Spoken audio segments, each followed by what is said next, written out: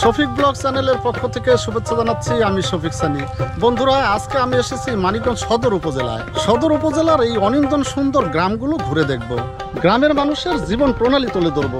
পাশাপাশি এই গ্রাম অঞ্চলের মাঠঘাটের সৌন্দর্য আপনাদেরকে দেখাবো।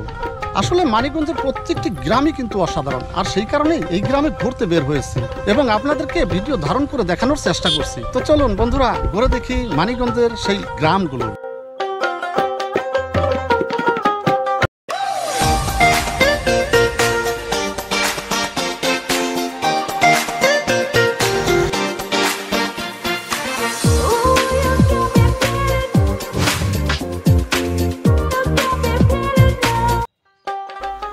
মানিকগঞ্জ জেলা শহর থেকে প্রায় দশ কিলোমিটার দূরে অবস্থিত অজপাড়াগায়ের সেই গ্রামের উদ্দেশ্যে আমাদের ছুটে চলা।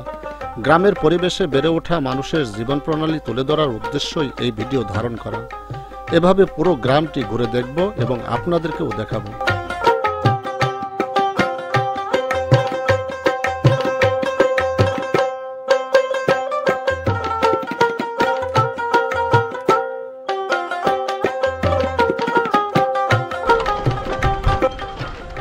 বন্ধুরা, এই যে গ্রাম অঞ্চলে এসে এই যে আমরা একটা সাঁকো দেখতে পেলাম, বাঁশের সাঁকো। আর এই যে শাঁখোটি কিন্তু এইটা গ্রামের মানুষের কাছে খুবই পরিচিত। আমরা যারা শহরে থাকি তাদের কাছে কিন্তু এই শাঁখোটি এত পরিস্থিতি না থাকলেও গ্রামের মানুষ এবং গ্রামীণ মানুষের জীবন প্রণালীর সাথে এই সাঁকোটা কিন্তু অতপ্রতভাবে জড়িয়ে রয়েছে।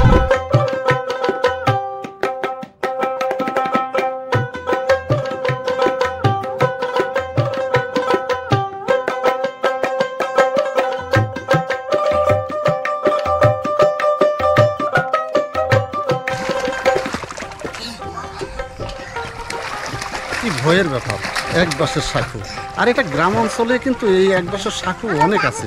অর্থাৎ এই বন্যা মৌসুম এখন বন্যা আগত বন্যার পানি এসছে গ্রামে নতুন পানি আমরা দেখতে পাচ্ছি কর্দমাক্ত ঘোলা পানি আর এই পানিতে কিন্তু গ্রাম অঞ্চল এখন তলিয়ে যাবে। পাশাপাশি পথঘাট রাস্তাঘাট এগুলো কিন্তু এখন তলিয়ে যাবে। আর এভাবে কিন্তু এক বাসের শাখু দিয়েও এই গ্রাম অঞ্চলের মানুষ কিন্তু পারাপার হয়। নাম কি? শাহাদাত। শাহাদত কথা শিখছাও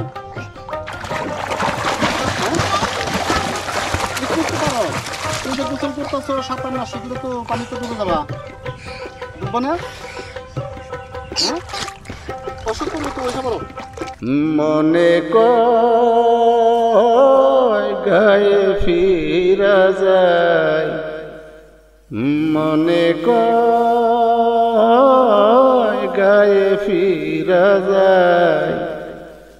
মায়ের মুখের একটু কথা মুছে দিত সকল ব্যথা চোখে চোখে রাখতো যে সদা মনে কয় ফিরা যায়। কাকা, আসসালামু আলাইকুম। কেমন আছেন কাকা। এদিকে চার দোকান না? হ্যাঁ এই যে আপনারা এই গ্রাম অঞ্চলে চার দোকান দিয়ে চা বিক্রি করতেছেন আপনাদের ব্যবসা কেমন হয়? মোটামুটি চলে আর কি। মোটামুটি ডাইল বাস খেয়ে বাসা ভাই ভাই আসসালামু আলাইকুম। ওয়ালাইকুম আসসালাম। এই বাসাটা আপনার এই আমাদের গ্রামে? এই পাশেই বাসা। এই যে আপনাদের এই গ্রামে আসলাম এই গ্রামে বন্যার পানি এসে গেছে অনেক নতুন পানি দেখতে পাচ্ছি। তাহলে এই গ্রামে যে আপনারা বসবাস করেন এটা আপনাদের কেমন লাগে? ভালো লাগে। এখানে আমাদের জন্মভূমি এখানে আমাদের বাসা। এখানে ছোটোবেলার থেকে আমরা মানুষ হয়েছি, দাদাই মানুষ হয়েছে আমার আব্বাই মানুষ হয়েছে, আমরা বড় হয়ে গেছি, এখন আমার ছেলে মেয়ে বড় হয়ে গেছে। এখানে আমাদের মাটির সাথে জড়িত। এমন ভালো লাগে তা আপনাদের বোঝানো যাবে না। যারা শহরে থাকে, তারা শহরের মর্মটা বুঝে। শহরে অট্টালিকায় থাকে তারা কিন্তু গ্রামের দিকে তাকায় না। মনে করে যে আমরা গ্রামের মানুষ, অবহেলিত বলে ভাবি। কিন্তু আসলে গ্রামের শান্তি আর কিছু নাই। গ্রামের বসবাসটা আসলেই আরাম। এই যে নদীর পানি তারপরে এই যে নদীর থেকে মাছ ধরে খাই তাজা। গ্রামের এই যে ফসল উৎপাদন করি নিজে হাতে উৎপাদন করে তারপরে আপনার নিজেরাই খাওয়া দাওয়া করি। আবার বেশ- বেশি কিছু খুব ভালো লাগে। এই। বন্ধুরা এ ভাই বললেন যে গ্রামটা আমাদের কাছে নাকি খুব ভালো লাগে। গ্রামের সাথে গ্রামের মাটির সাথে তারা ওতপ্রোতভাবে জড়িয়ে আছে। জড়িয়ে আছে। এবং তারা বলে যে আমরা এই গ্রামে বসবাস করে আত্মতৃপ্তি নিয়ে গ্রামে বসবাস করছি। অর্থাৎ মানুষের চিন্তা ভাবনা দেখুন, তারা কত অল্পতেই তুষ্ট। তারা এই গ্রামে বসবাস করে, তারা এই গ্রামে স্বাচ্ছন্দ্য বোধ করে বসবাস করতে এবং এই গ্রামের এত সুযোগ সুবিধা কম থাকার পরেও তারা কিন্তু এই গ্রাম বলতে পারে না। অর্থাৎ এই গ্রামের মায়া কিন্তু তাদের আচ্ছন্ন করে রেখেছে।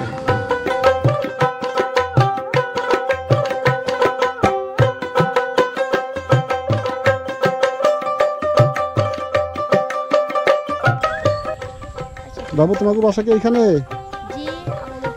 আহ, কি করতেছো তোমরা? পড়ালেখা করো? কোন ক্লাসে পড়ো? ফাইভে আচ্ছা পড়ালেখা করো হ্যাঁ?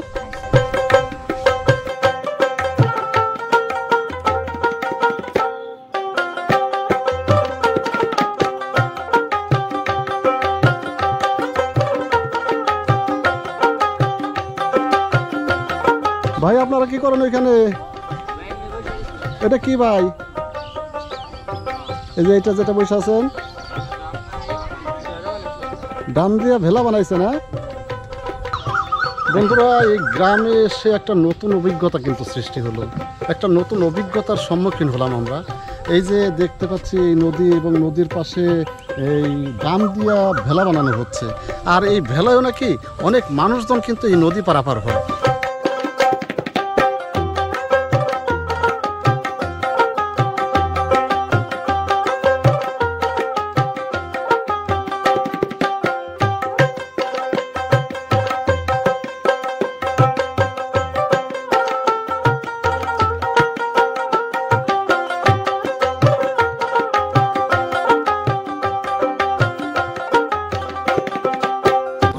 আছেন?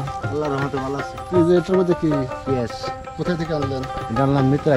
এই যে নদী পার নদীর মানে আপনার বাসা? না এই পার আমার বাসা। তো এইদিকে কই গেছিলেন? ওইদিকে মিত্রা গেছিলাম গেছিলাম ওই দিক দিয়ে গেছিলাম আসার সময় দিক দিয়ে। ওই যে হাতে ঘড়ি দেখতে পাচ্ছি। মামার কাছ থেকে নিয়ে এলাম। মানে আপনি ঘড়ি ওড়ান আপনি? না, আমার ছেলে ওরা ঘড়ি ওড়ানো ভালো লাগে আপনার? আমার ছেলের খুব প্রিয় জিনিস আর এই যে আপনাদের এইখানে যে একটা ব্রিজ দেখতে পাচ্ছি ব্রিজটা তো এখন কাজ বন্ধ আছে। এই ব্রিজটার কাজ কেন বন্ধ হচ্ছে বলতে পারবেন? এটা আমরা সঠিক বলতে পারব না। ব্রিজটা কাজ বসে প্রায় দুই আড়াই বছর হয়ে যায়। এখনও ব্রিজটা মানে উঠতেছে না। মানে কিসের লেগে উঠতেছে না ওটা আমরা সঠিক বলতে পারব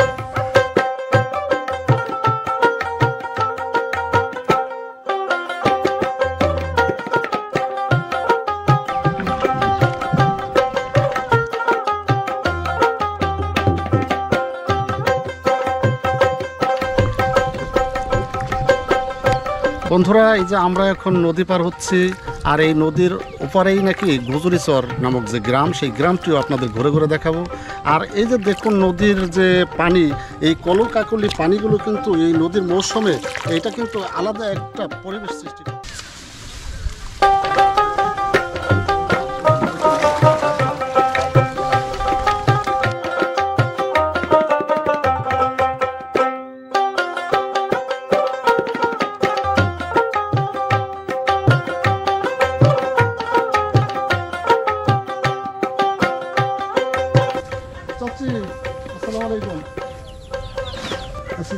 চাচি এই যে বাসা তো আপনার। এই যে নদীর পাশে এই যে বাড়ি করছেন নদী ভাঙে না? ভাঙি তো যদি আরও কাটলো। না করলেও শুনে না। তাহলে এই যে পাকা বাড়ি করছেন দেখা যাচ্ছে এই নদীর পাশে যত ভাঙে তাহলে পাকা বাড়ি করলেন কেন? বন্ধুরা এই যে দেখুন যে এই আমরা আগেই বলেছি যে এই পাশ দিয়ে বয়ে গেছে নদী। আর এই নদীর ঠিক পাশে, পার ঘেঁষা এই বাড়িটি। আর এই বাড়িটি কিন্তু পাকা বাড়ি করা দেখা যাচ্ছে। এখানে ইটের ডোয়া পাকা করে এই বাড়ি করা হয়েছে। অথচ তারা কিন্তু এই নদীর ঠিক কাছাকাছি, অর্থাৎ নদীর একদম সন্নিকট কাছেই তারা এই বাড়িঘর করেছে। যে কোনো সময় কিন্তু এই নদীতে এই বাড়িঘর ভেঙে যাওয়ার একটা সম্ভাবনা আছে। আর এই ভাঙা গড়া খেলার মধ্যেই কিন্তু তারা সংগ্রামী জীবন যাপন করে চলেছে এই চরাঞ্চলের মানুষগুলো।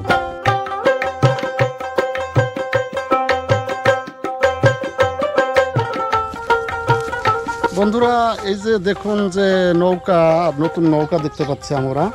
এই নদীর পাশেই নৌকা বানিয়ে রাখা হয়েছে। অর্থাৎ এই বন্যা আসার আগেই কিন্তু এই গ্রাম অঞ্চলের মানুষগুলো একটা প্রস্তুতি নিয়ে রাখেন। আর সেই প্রস্তুতি স্বরূপে আমরা দেখতে পাচ্ছি এখানে নৌকা বানানো হচ্ছে। নতুন নৌকা বানিয়ে রাখা হয়েছে।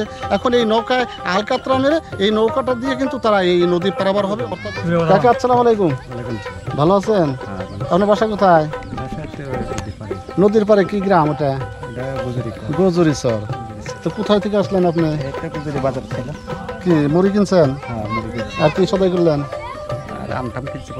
এই যে আপনাদের এখানে পানি এসে গেছে তাহলে পারাপার তো হতে কষ্ট হয় না একটু? কীভাবে পারাপার হন? ওই যে হ্যাঁ ওই মধ্যে এমনি কি কাজ করেন? কিছু কাজ করি আর কি। কৃষি কাজ করেন।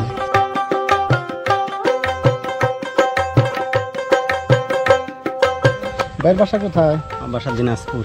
দিনাজপুর। এখানে কি করেন? এখানে ব্রিজের কাজ করি। ব্রিজের কাজ করেন। আমরা তো এখানে এসে যে ব্রিজের কাজ দেখলাম যে কাজ কমপ্লিট হয় না এখন। এটা কারণ বলবেন একটু? এখানে মাঠের কাজ শেষের দিকে ছিল কিন্তু ওই যে গাটারের মালামাল নিয়ে আসে নাই। এখানে আপনার এই পর্যন্ত পানি আসছিল মাঠে পানি আসে। এখানে আপনার সিমেন্ট রড থোয়া তো বিপদ এগুলো ঢালাইও করা যাবে না। এটা সম্পূর্ণটা পানিতে ডুবে থাকে প্লাবিত থাকে। আমি গত দুই দেড় বছর থেকে দেখতেছি এটা পানিতে প্লাবিত থাকতেছে যার কারণে আর কি কাজ করতে একটু সমস্যা সমস্যা হয়। তাহলে যে আপনি বলতে চাচ্ছেন এই যে আপনাদের ব্রিজের কাজটা এটা চলমান প্রক্রিয়া? চলমান প্রক্রিয়া আছে। বন্ধুরা, আমরা কিছুক্ষণ আগেই আমরা এই, আমি নিজেই বলেছি যে কোনো অজানা কারণে হয়তো এই ব্রিজের কাজ থমকে আছে, কিন্তু আসলে আমরা সেই রহস্যটা আমরা কিছুক্ষণ আগেই জানতে পারলাম। এই ব্রিজের কাজের যে তত্ত্বাবধানে যিনি দায়িত্বে আছেন, সেই ভাইয়ের সাথে আমাদের দেখা হলো। তিনি বললেন যে এখানে নাকি অধিকাংশ সময়ে পানিতে প্লাবিত থাকে, যে কারণে কাজ করা অনেকটা কষ্টসাধ্য হয়ে যায়। কিন্তু এই কাজটা যে চলমান আছে, এটা কিন্তু এই ভাইয়ের মুখ থেকে আমরা জানতে পারলাম।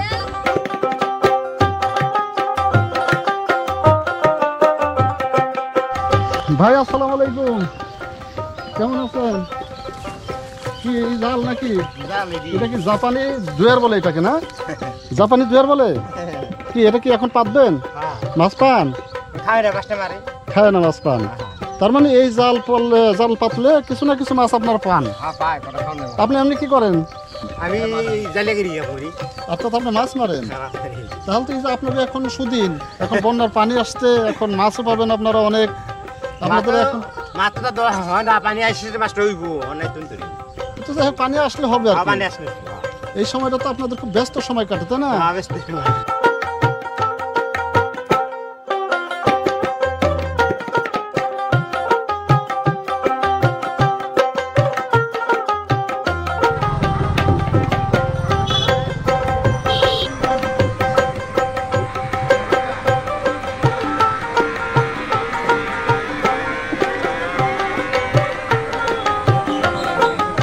বন্ধুরা, আমরা এই মানিকগঞ্জের অনিন্দন সুন্দর এই গ্রামগুলো এতক্ষণ ঘুরে দেখলাম। নদীর ওপারে গিয়েছি, আমরা সাধারণ মানুষের সাথে কথাবার্তা বলেছি, তাদের জীবন প্রণালী আপনাদের এই ভিডিওর মাধ্যমে তুলে ধরার চেষ্টা করেছি। আর এখন আমি যে জায়গাটি দাঁড়িয়ে আছি, এই জায়গাটা কিন্তু এই গ্রামের মানুষের, এই গ্রামীণ বাজার। এইখানেই তারা বিভিন্ন ধরনের বাজার সদাই করেন, এইখানে অনেক বড় হাট বসে। এই সকালে সকাল সাতটা থেকে দশটা পর্যন্ত এই হাটটা ডেকে চলে। এই হাটে কিন্তু সব ধরনের জিনিসই পাওয়া যায়। বিশেষ করে এখানে দুধের যে ব্যাপারটা সেই দুধ কিন্তু এখানে ঘাটি গায়ের দুধ এখানে বেশি পাওয়া যায়। আর দামি নাকি দামও নাকি খুব সাশ্রয়। কাকা ভালো আছেন? আপনার বাসা কি এখানে? হ্যাঁ এই যে আমরা এই যে আপনাদের এই গ্রামটি ঘুরে দেখলাম এই গ্রামের সাধারণ মানুষের সাথে আমরা কথা বললাম পুরা গ্রামটি আমাদের খুব ভালো লেগেছে। আচ্ছা এই যে এইটা তো বাজার। এই গ্রামের সমস্ত মানুষ কি এখানে বাজার করে? হ্যাঁ এখানে বাজারটা কখন মেলে? সকাল সাতটার দিক দিয়ে মিলে। সকাল সাতটার দিকে মেলে। এখানে তো সব কিছুই পাওয়া যায়। সব কিছু পাওয়া যায়। এখানে কি দুধ পাওয়া যায়? হ্যাঁ দুধ